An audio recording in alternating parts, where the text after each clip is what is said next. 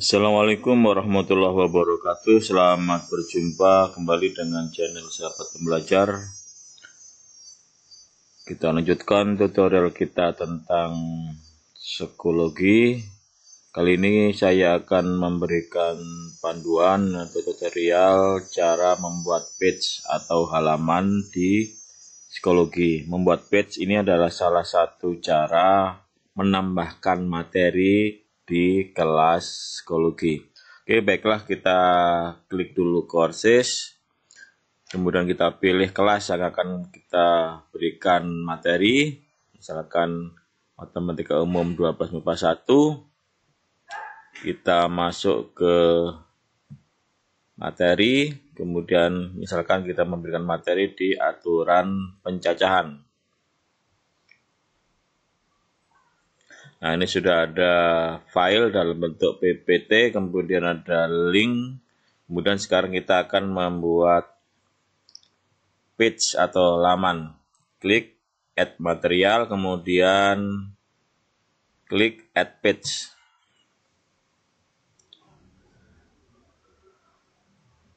Kita tunggu beberapa saat.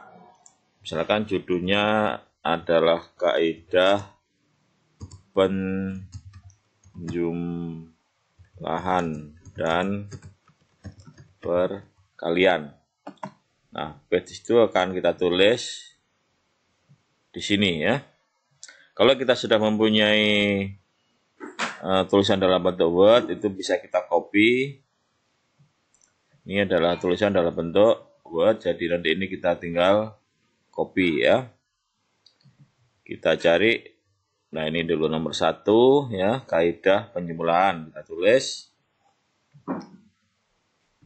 Satu kaidah penjumlahan. Enter.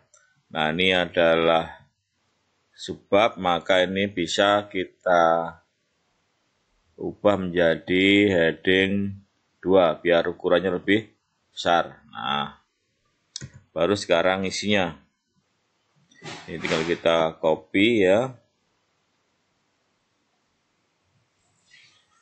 Nah sampai sini dulu. Kita copy. Nah kita bawa ke sini. Nah.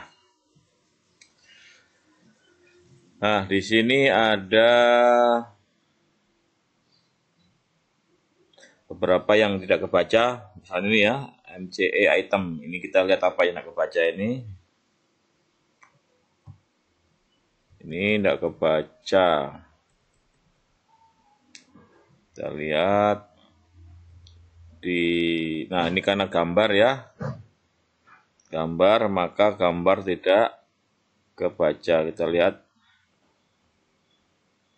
contoh soal ya contoh soal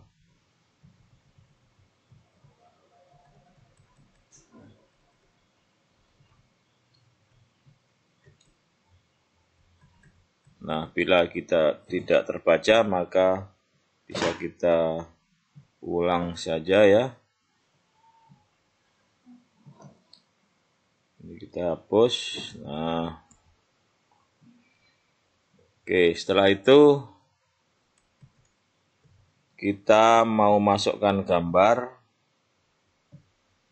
Untuk masukkan gambar tidak bisa kita copy seperti pada Word, tapi gambar itu harus kita insert gambar ini harus kita save dulu.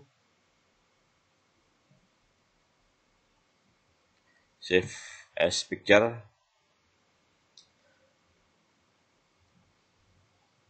Saya taruh di desktop biar gampang. Misalkan ini adalah gambar satu ya. Nah ini gambar ini akan kita insert Caranya klik insert content, kemudian image,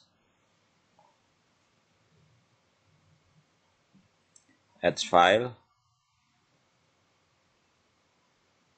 Oke, cari gambar yang akan dimasukkan.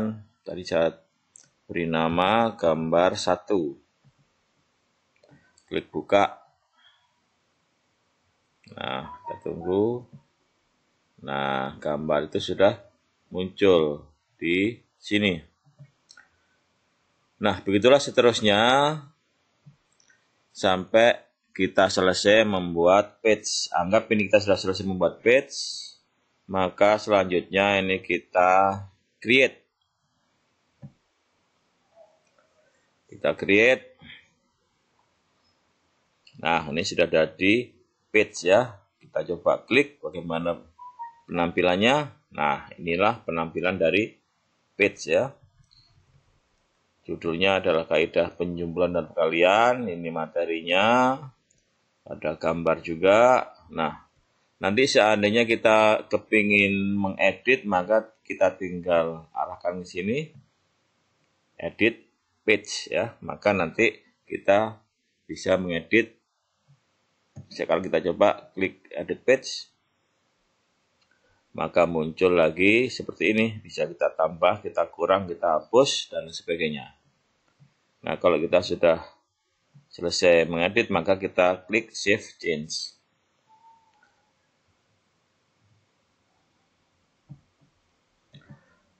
Kemudian sebagai tambahan bahwa untuk mengedit atau membuat page ini itu sama kayak kita membuat tulisan di blog bagi Bapak Ibu yang sudah terbiasa dengan menulis di blog.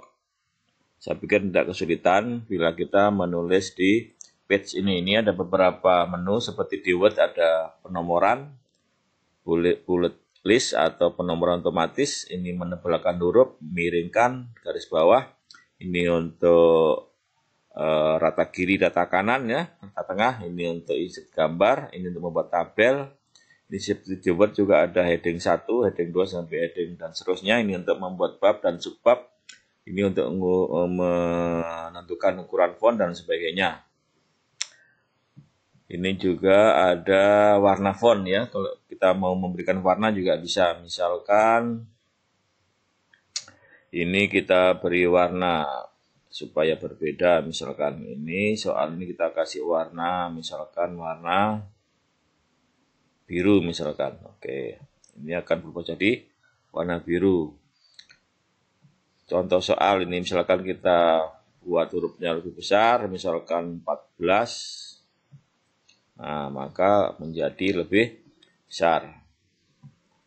Oke, kalau sudah kita save change. Tunggu. Nah, ini warnanya berubah jadi biru. Yang ini ukurannya menjadi lebih besar yaitu 14 ukurannya. Sampai di sini saya akhiri. Wassalamualaikum warahmatullahi wabarakatuh.